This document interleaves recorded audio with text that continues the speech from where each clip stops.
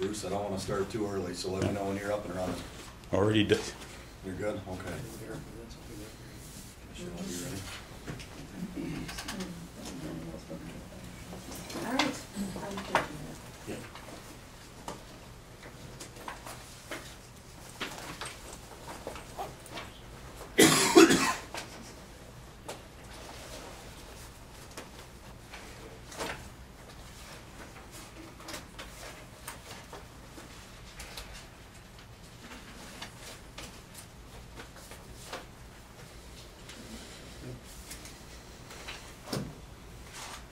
You ready?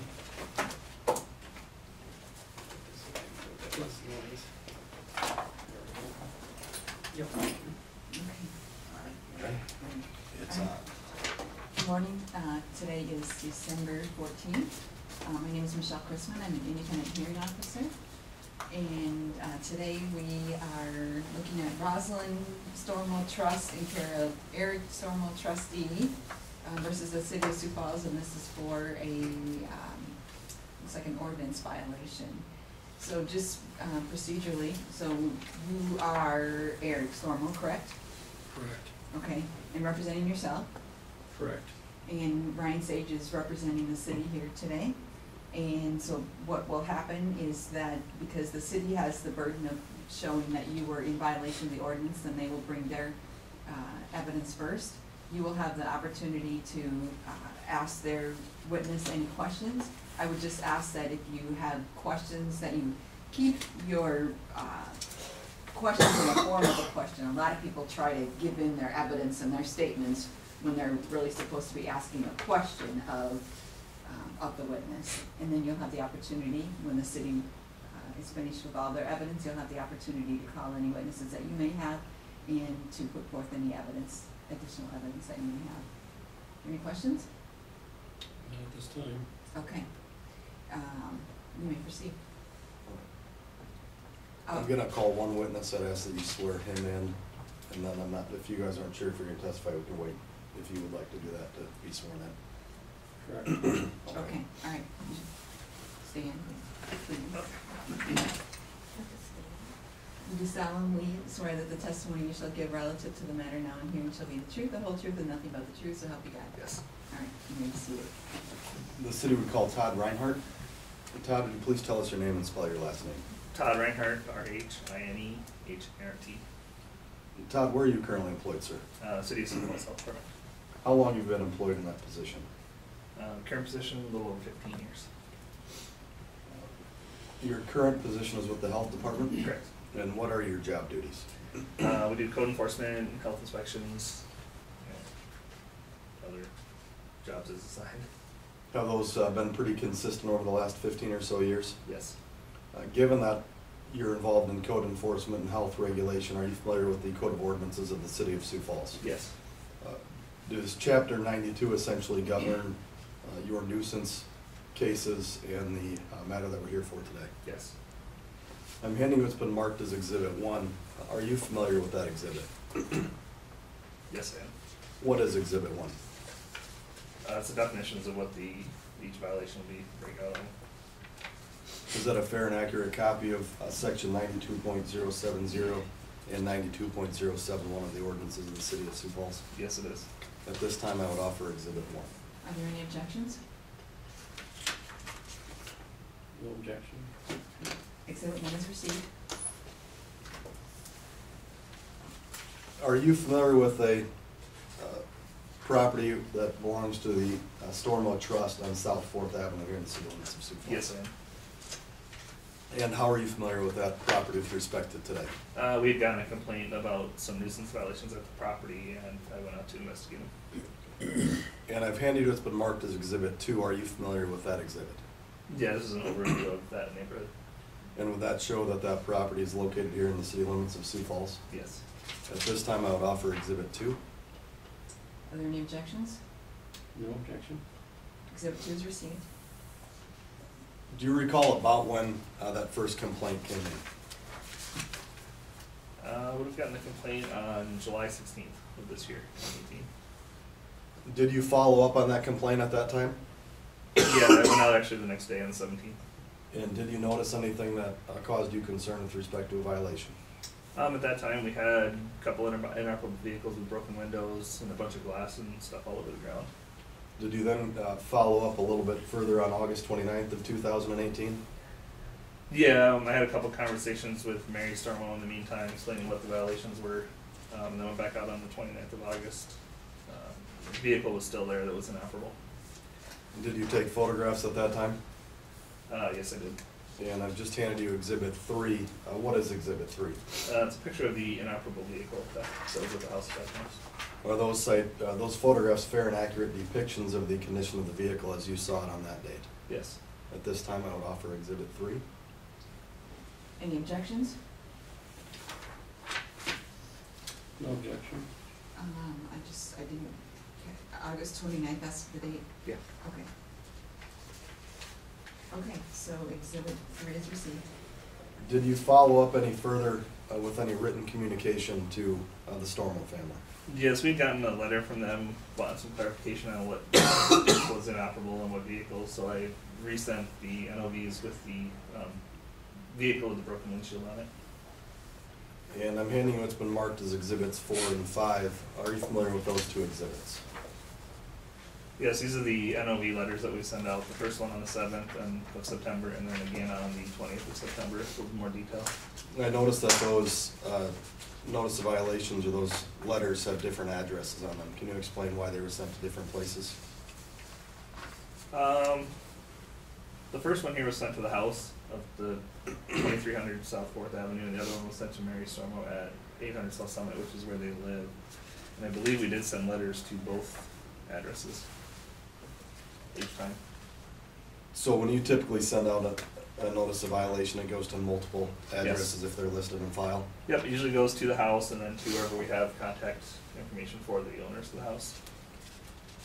Are exhibits four and five fair and accurate copies of the content of the uh, information that would have been sent to the Stormos? Yes. This time, I'd offer exhibits four and five. Any objections?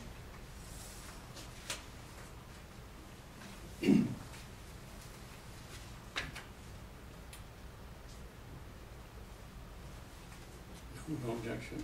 Okay, exhibits four and five are received. After those uh, notices were sent, did you continue to follow up on the property? Yes, I did.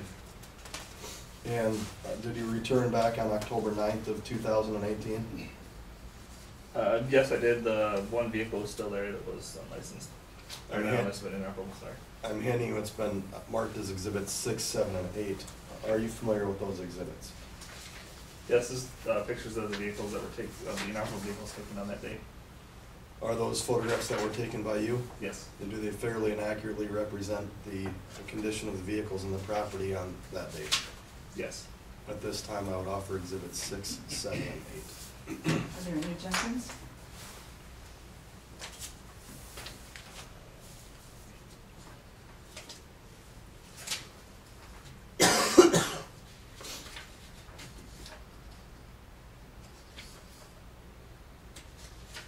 No objection.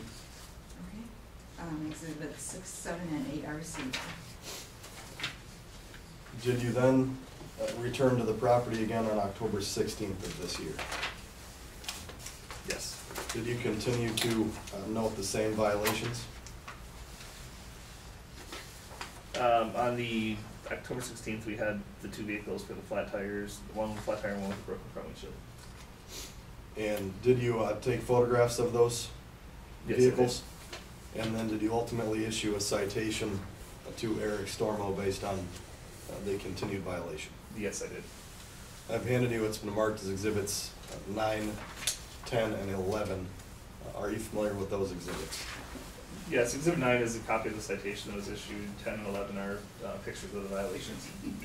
With respect to exhibit ten, uh, can you please show, uh, actually, before I do that, let me offer exhibits nine, ten, and eleven. Are there any objections?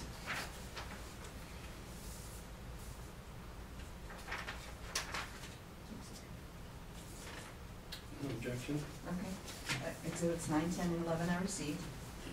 Mr. Rhinehart, what I'd like you to do is walk me through exhibit ten with respect to those two photographs and, and explain to me what the violations of ordinance are that you observed. Uh, On exhibit ten, the top picture is just an overall pic, view of the car. Um, the bottom picture is actually showing the violation of that car, which is the flat tires. And how about with respect to uh, exhibit eleven? Uh, exhibit eleven, again, the top picture is just the overview of the car, and the bottom is the picture showing the violation, which is the shattered covered windshield. Uh, And that property is located here in the city limits of Sioux Falls? Correct. I have no further questions for this witness. Do you have any questions for, uh, Mr. Rhinehart? I do. You said that the property at twenty-three hundred South Fourth Avenue is owned by a trust, is that correct? That's what our record showed, yes. And how many trustees did the property have? Uh, from what I can tell from what our lady found, we just had the Roslyn Stormo Trust, um, to believe it was Eric and Mary. Our secretary sets those, finds those, and prints out the letters. So how did you de- determine to notify Eric as opposed, for example, to Mary? Uh, these were other addresses that popped up in our system that were attached to that property. How did you determine to send a letter to, I think the first letter, it looks like went to Mary Stormo at eight hundred South Summit, that's correct? We send letters to all the addresses that come up that are attached in our system to this property at twenty-three hundred South Fourth Avenue.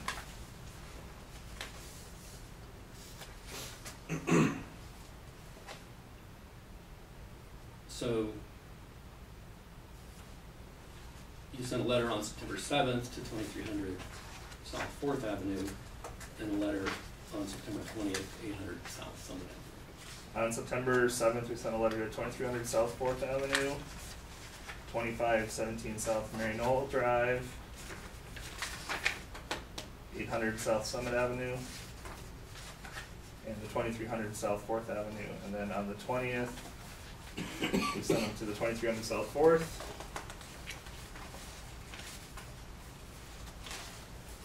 Twenty-five seventeen South Mary Knoll, eight hundred South Summit Avenue, and twenty-nine South Fourth. So we send, uh, the four addresses each time.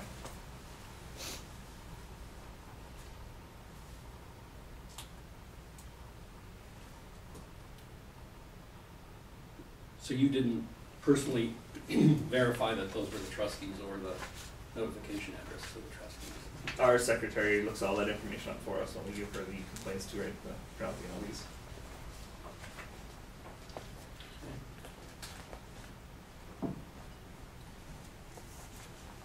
I've looked.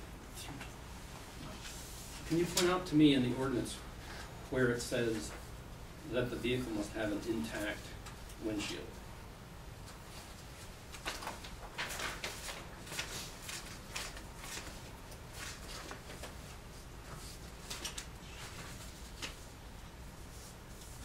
It's not right here.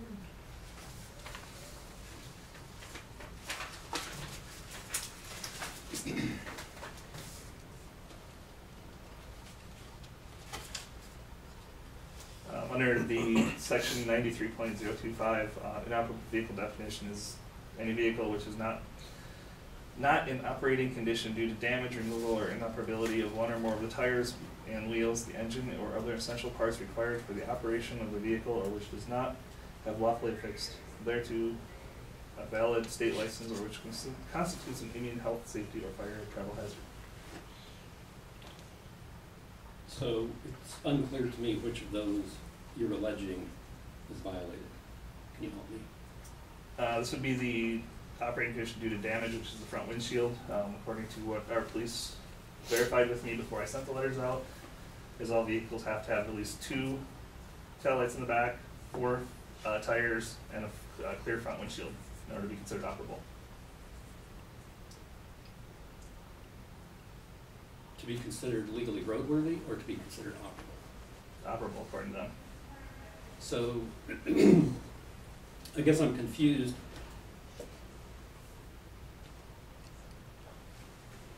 Does the ordinance empower the police department to define operability?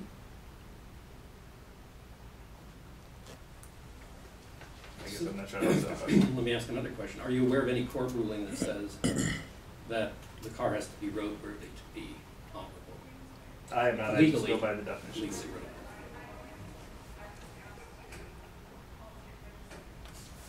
So the answer.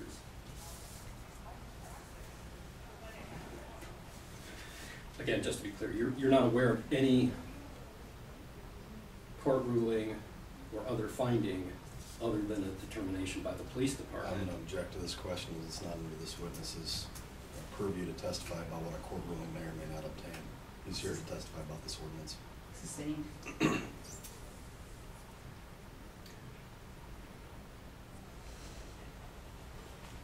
Were there any other complaints about these vehicles or this property prior to July sixteenth? I would not know at this time, I would have to go back to the records in our system. If you don't know that, how could you testify that the first complaint was July sixteenth? You asked me before that, I, the complaint I got was on July, But you said that was the first complaint. that I know of.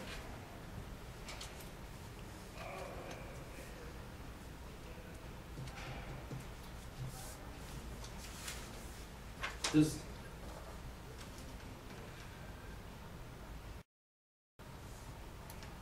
does the ordinance not allow a fourteen day period to correct the violation? Yes, it does. So, let's see here. I see exhibit ten is labeled ten sixteen. Exhibit eleven is labeled ten sixteen. And exhibit six is labeled ten nine. So, how many days are in between ten nine and ten sixteen? Which exhibits are we talking about? So exhibit seven, we're in exhibit eleven. Yeah, exhibit seven. And exhibit ten, that's, that's two examples. I don't think there's fourteen days in between there.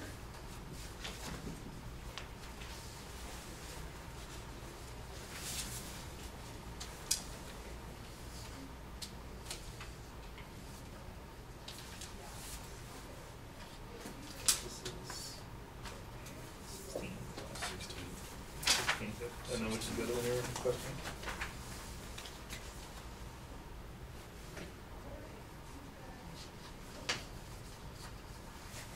The follow-up picture of the exhibit eight and exhibit seven are the follow-ups from the letter that went out fourteen days prior. Um, at that point, we do a follow-up. Our next step is to verify everything with the, our supervisor and then issue a citation. So there was fourteen days prior from the letter to exhibit seven, which is the first one.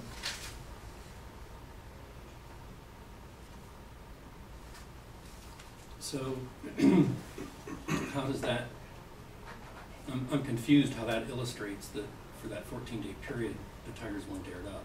The fourteen day period goes from the, uh, exhibit five, which is the NOV letter sent to you, through exhibit seven, which would be the, um, picture, the first set of pictures. Right, but, but that's not the question I'm asking. I'm asking, your conclusion is because you found successfully two days that there were flat tires, that there were no days in between where there were not flat tires. On the day of the follow-up, there were violations on our property. but that doesn't prove that they existed for fourteen days. How does- That's what I don't understand. How does that prove that it existed for fourteen days? I wouldn't, in the time frame that's allowed, I wouldn't know if they were up or down, because I do not go back until the compliance time is up.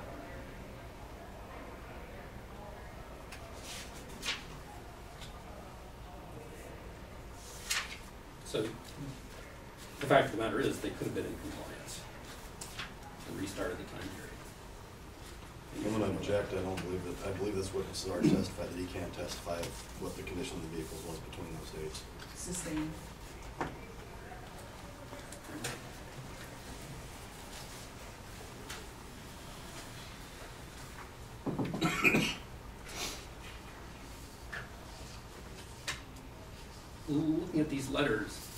it's confusing to me. When was I notified that flat tires were a problem?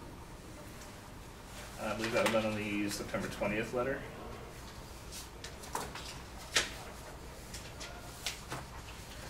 Sorry, I take that back.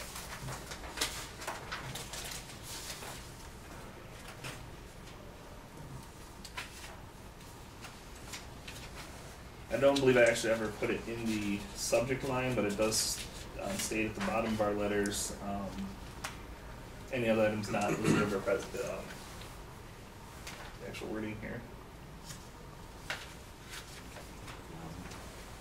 Yeah. Any additional new conditions not previously observed, or as potentially may have been added to the property after the city's prior inspection, must also be satisfactorily addressed, which that's where that would fall, because it does have why we attach the ordinances to the property, um, to the NOVs, so you- for anything that might not be found, for you guys to look at and be aware of. Is, is there a reason that you didn't, if these violations were so allegedly obvious that I could figure them out, is there a reason you didn't list them? They may have not been there the first day, or I missed it. Um, it still falls under the inoperable vehicles, which was at that time.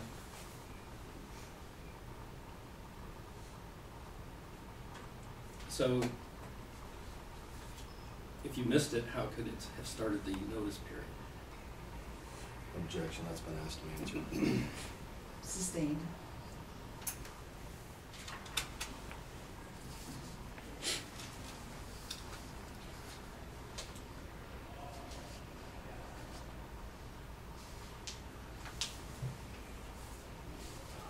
I guess can we have a short recess? Discuss something.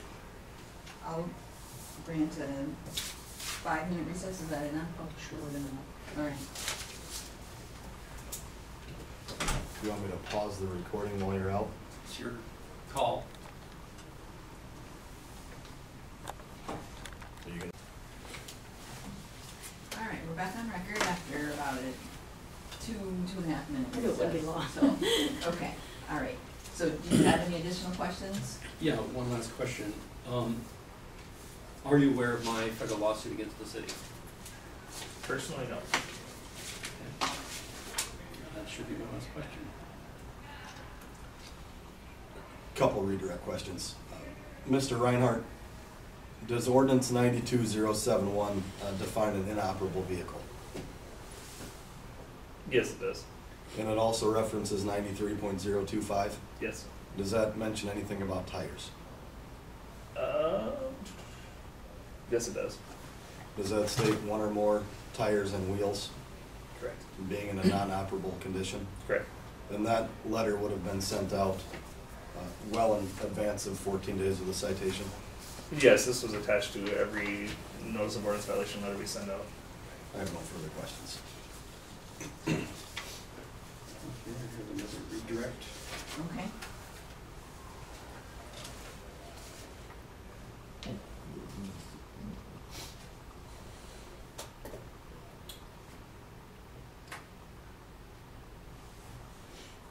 Do you have any confirmation that we received any of these letters? That you allegedly sent? Um, yes, I had actually had a couple of conversations with, uh, Mary Stormo on August first and again on August eighth, and I also received a letter from you guys.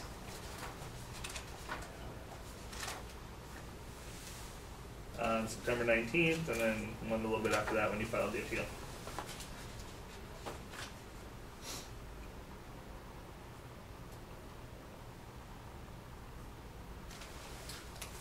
Ninety-three point oh two five. The question you just previously answered. If I read this correctly, it says, which is not an operating condition due to damage, removal, or inoperability of one or more tires and wheels. Correct. So, your allegation is that a tire which has had the air let out of it is inoperable. Correct. So.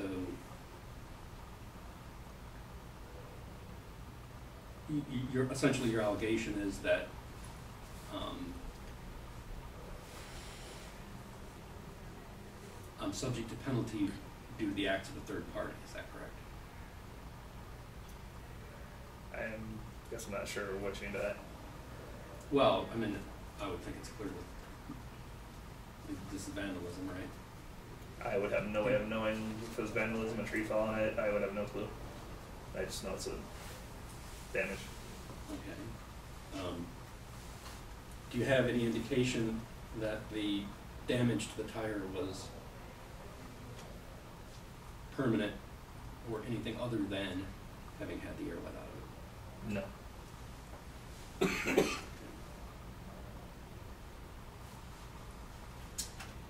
I don't believe I have any more questions. Okay, Nothing further from the city. all right. The city would rest. So this is your chance to testify, and bring any, um, evidence, so, uh, if you are going to testify, then I'll ask you to stand and, and, uh, Mary, correct? Yes. Then I would ask both of you, if you think both of you are gonna testify, then I would ask both of you to stand and raise your right hand and be sworn in. Um, I think only Mary needs to testify. Okay. Ready? Yes. You solemnly swear that the testimony you shall give relative to the matter now and hearing shall be the truth, the whole truth, and nothing but the truth, so help you God. Yeah, I do. All right, you may be seated. Uh, Are are you aware of the uh, trust that owns twenty-three hundred South Fourth Avenue? Yes, I am. And how many trustees are there? Currently, there's only one. I didn't ask that question. One. And that is? You. And what's the trust address? Twenty-three hundred South Fourth, no. Twenty-three hundred South Fourth Avenue. Two five six four five seven one zero five. Have you ever resided at eight hundred South Summit? No, Have you ever resided at twenty-three hundred South Fourth Avenue? no, Has Eric ever resided at eight hundred South? no. Summit? Okay. Are you aware of how the damage to the cars occurred? They were vandalized.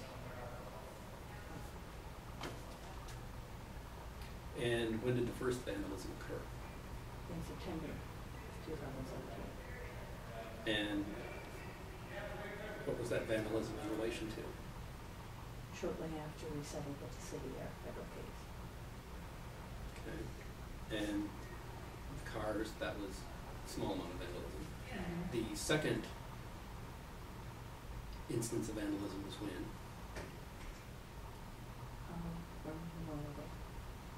Okay. this year. Next instance? uh, Fourth of July this year. And then uh, there was further damage in August. And why was the. August date? Uh, we finally cashed the check on the settlement. And then, And then we also tried to report the vandalism to the city to the police department. I called, they said, no, you have to do it by we we attempted to Online. report the July fourth vandalism, is that what you're saying? Right, and uh, when we couldn't do it online, they said you uh, do it by the phone. I then, we then went and did it online, and then we received notification that that wasn't the proper venue either.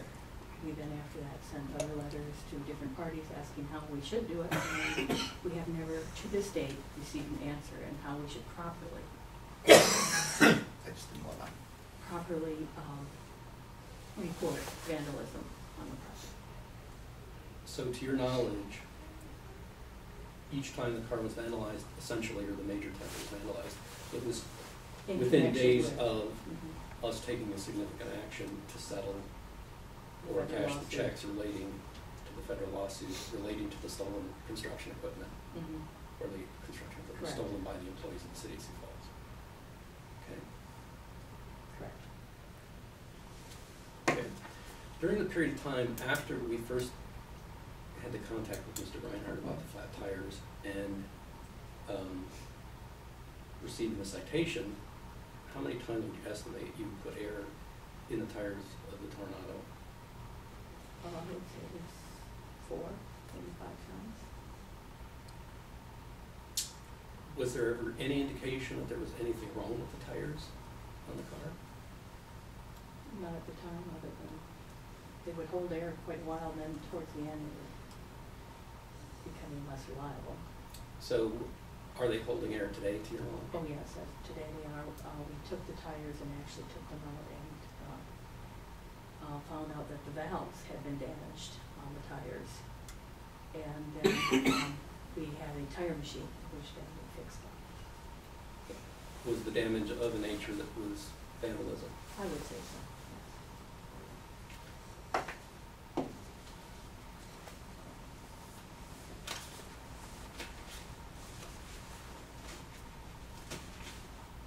Um, is there any ev- evidence to your knowledge that, that the cars are not drivable, that they can't move under their own power? No, I actually have seen the move and they do function just fine. To your knowledge, they were perfectly legal to drive, perfectly roadworthy Correct, up until the times that they were vandalized, correct. up until the day we settled our case with the city, etc. And they're still operable in the sense that they do move under their own power.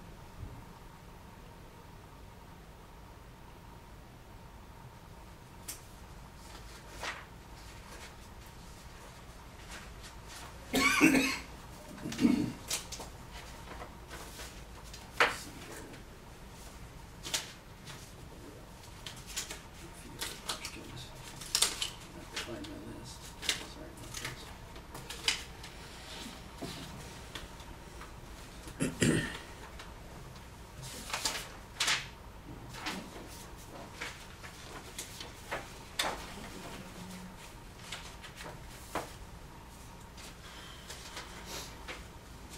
Alright, So, I'd like to ask you, if you could tell me what that is? Um, this is a copy of an email, um, sent from the police telling us that they have received our, um, online complaint of, of vandalism on the property. And the second is an email from the police saying that we're sorry the following problem was found during review, your submitted report. This is not the appropriate method to, of reporting this. And we have never received any documentation. And this is all dated, uh, July thirtieth and July thirty-first. After repeated re- request, that we have not received any information which how to report vandalism at this property to date. And those requests as to the correct reporting method were addressed to who? to the mayor and to the police chief. And the second round, I think, was to the mayor and to the attorney's office. To the Attorney's Office. And I think it was to the uh, head attorney. Mr. I don't know how to say his last name. Was it Kooistra? Quickster, thank you.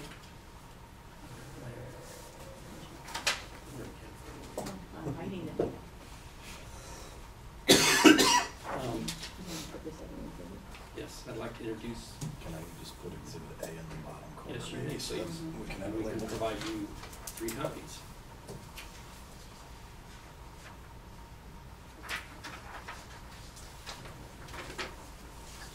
So, documentation. So you wanna enter this as an exhibit, Yes, I do, please. okay? Any objections? I don't think it's relevant, but for purposes of the hearing, I don't have any objection.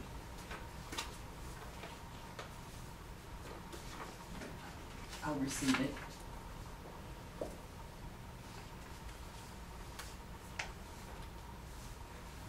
Are you aware that we, we- we got the letter from the city, and we read through it, and we scratched our head as to exactly what needed to be fixed? Is that Correct. correct? Correct.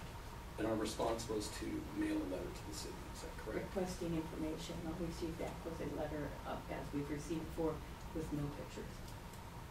So at any time, did we get the pictures that have been included in the exhibit? No. Is that correct? We did, did you get, by never, you mean? I never saw any pictures that included with Mr. Rhinehart's letters Okay, but you got them, after we You did get some received your this week, exhibits this correct. week. Okay. And that's the first I saw any pictures. okay. So, in response to the letter seeking clarification, you got no clarification, you got no explicit clarification? No, I did not. I'm still scratching my head.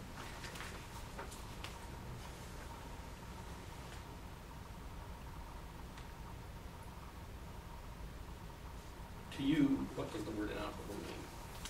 Objection, it's not relevant. Yeah, I'm gonna say that.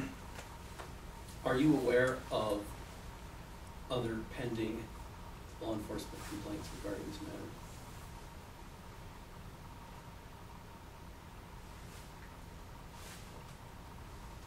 Yes. It has been reported to federal agency.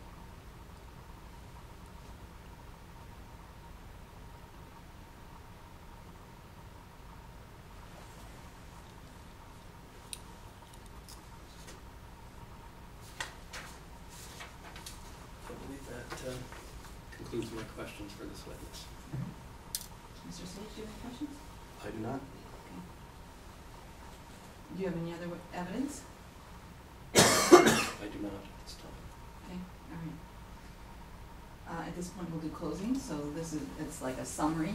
Mr. Sage will give a, uh, um, I'm gonna call it a summary as to, uh, why the citation should be upheld, and you'll have the same opportunity to make your, um, summary as to why the citation should not be upheld. I think it's clear from the evidence that uh, Mr. Stormo is at least a trustee, uh, if one of many, uh, on that property that's at issue here today at twenty-three hundred South Fourth Avenue. The first notifications of violations uh, were sent by at least September seventh, as indicated by the exhibits that have been submitted. At least fourteen days passed before October sixteenth of two thousand and eighteen, uh, to where exhibits nine, ten, and eleven uh, come from with respect to the uh, flat tires and the broken windshield, and I think under the ordinance ninety-two zero seven one and ninety-three zero two five, that that does meet the definition, and so I'd ask you to uphold the citation. Okay, Mr. Stormo? I allege that the accusation is not sufficiently specific. The citation and communications in the mail. A person of reasonable skill couldn't figure out what the violation was or what needed to be done to cure it. And in response to my request for more information, no further specificity was provided. I allege that none of the city's evidence shows that either vehicle was inoperable, nor does it show it was inoperable for the required period of time. I am unable to defend myself this time because it may impair uh, federal and other law enforcement efforts that are pending. I'm not able to discuss details or theories which would further defend my position. And as a consequence, I would request that this decision be delayed until those investigations are closed. I allege the method of choosing the hearing officer violates due process. It's well established by the Supreme Court that any method of choosing a hearing officer which allows one of the litigants to influence the decision, such as by declining further employment, as a due process violation. I allege the city's interpretation of the ordinance violates the separation of powers. The city council is the correct authority to de- define this ordinance, and if they meant not roadworthy, they should have said not legally drivable on the public roads. They said inoperable, the vehicle's clearly, last I knew, operable, and the city's produced no evidence that it's not. And lastly, I believe the city comes to the tribunal with unclean hands. And certainly in, there's significant precedence that, um, in matters such as this, intimidation such as vandalism, and refusal to investigate it, intimidating witnesses, retaliating against witnesses, and the kind of behavior that's been exhibited in this matter is uh, kind of behavior that should bar their ability to conduct uh, matters such as this before a tribunal. That's the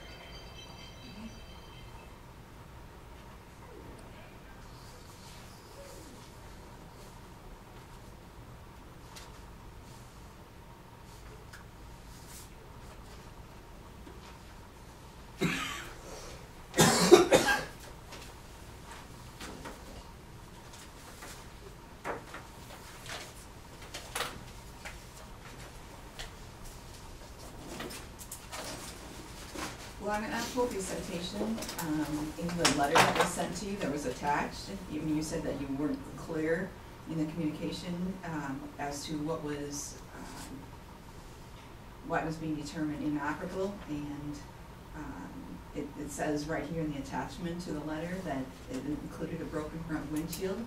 And the letter does also say that any additional nuisance violations that haven't been, um, previously observed or potentially may have been added to the property after their prior inspection may, uh, must also be satisfactorily addressed via removal and or abatement. Um, now, let's see, this, it was a hundred dollars, and you do have the right to appeal this, um, for judicial review. And I would ask if you would like to have findings, fact, and conclusions of law so that you may, um, make that appeal. If you are not intending to appeal, I would ask if you would be able to waive those findings, fact, and conclusions of law. No, I plan to appeal. Okay, all right, so what I'm gonna do is make the citation due, um,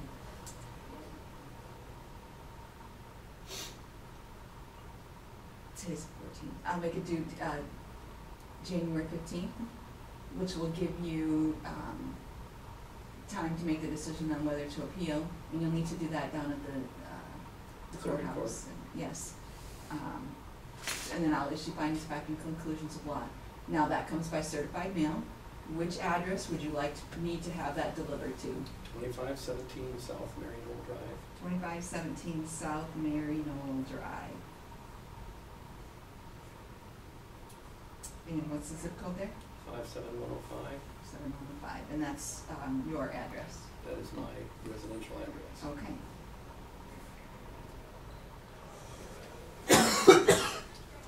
Um, And while we're handling some administrative matters, I don't think the hearing officer stated her name for the record. but I- She did. Did she? Okay. I apologize. Yeah, my name's Michelle Chrisman. It'll, it'll also be on the order. Oh, I understand. So- I'm Oh, just- sure.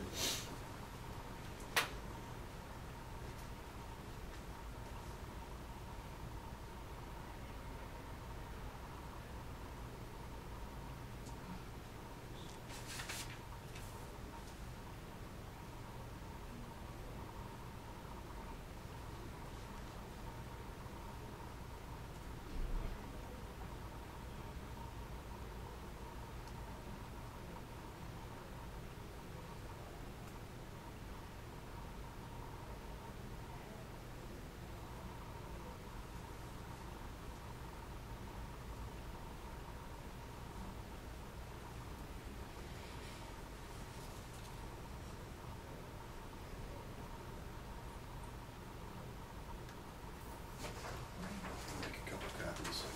One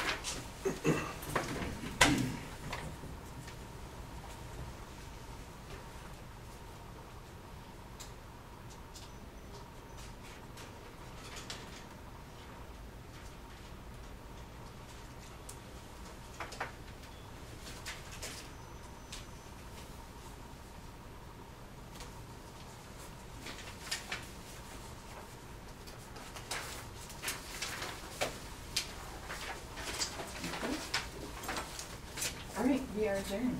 Thank you.